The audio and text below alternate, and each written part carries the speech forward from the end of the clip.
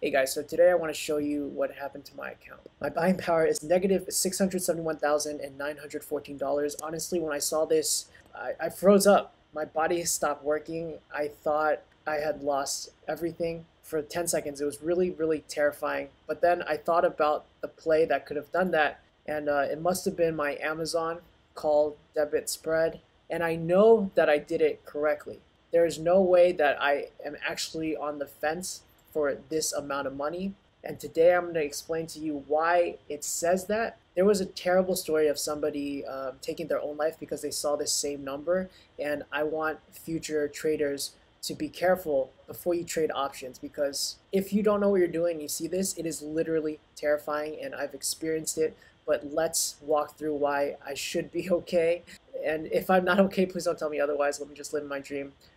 okay, seriously, I, I, sh I should be fine. My Amazon spread still exists right here under stocks, and if I click into it, we can see that they're both pending. So I'll open it up, and what we see right here is I bought a call at the strike price of $3,360, and I sold a call at $3,365. What this means is I have the right to buy 100 shares of Amazon at this price because this option expired in the money. I obviously don't have $336,000 to buy this with, but that's also why I sold a call option at a strike price above it. This cancels out a majority of this. Call I sold gives me the option to sell 100 shares at $336,500. So again, to summarize, I could buy Amazon at this price and I could sell it at this price. So therefore, again, my profit is the difference between this and this. $500 minus the cost of the spread, which was $235. So I should be making a $265 profit. And you can see here that the status is pending. Your assignment is pending confirmation. Your assignment is pending confirmation. And we should expect confirmation by Monday, which is way too long to be staring at such big numbers. But I digress. Let's go back to this buying power number if I am just need to buy 336,000, why does this say that much money? It's such a huge amount of money.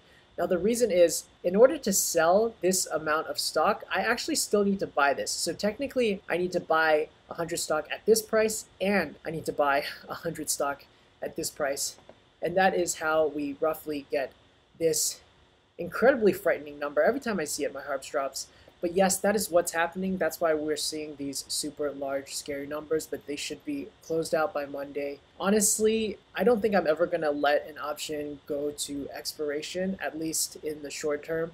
This was very traumatic for me. I didn't know that that's what it would say, but in hindsight, it makes sense. It's not something that you should worry about. The question is, does Robinhood bear any responsibility? And I think technically it's no, but at the same time, Robinhood gives the ability for traders to trade very, very easily versus other brokerages that make you jump through a lot of hoops. And if you listen to my previous videos, I was kind of hating on my older brokerages for making it difficult to trade options, but as of today, I am so appreciative that they don't let anybody trade options because this is very, very dangerous. And I was very confident in what I was doing. But just seeing those numbers, once I knew that I hadn't done anything wrong, that this wasn't an accurate reflection of the state of my portfolio, I couldn't unfeel all that fear. So no matter what happens, just make sure you know exactly what you're doing. Don't play around with with trades or techniques that you're you're not sure of. Play smaller stocks. I would say take a month to learn the ins and outs. I definitely rushed a little bit and I kind of regret it. And I think I'm very lucky that nothing terrible has happened. And this is definitely a big wake up call because, yeah, if I go destitute, uh, this YouTube channel might be the only thing I have left. So please consider liking and subscribing. I'm going to try to impart as much knowledge as I can so nobody has to go through what I went through today.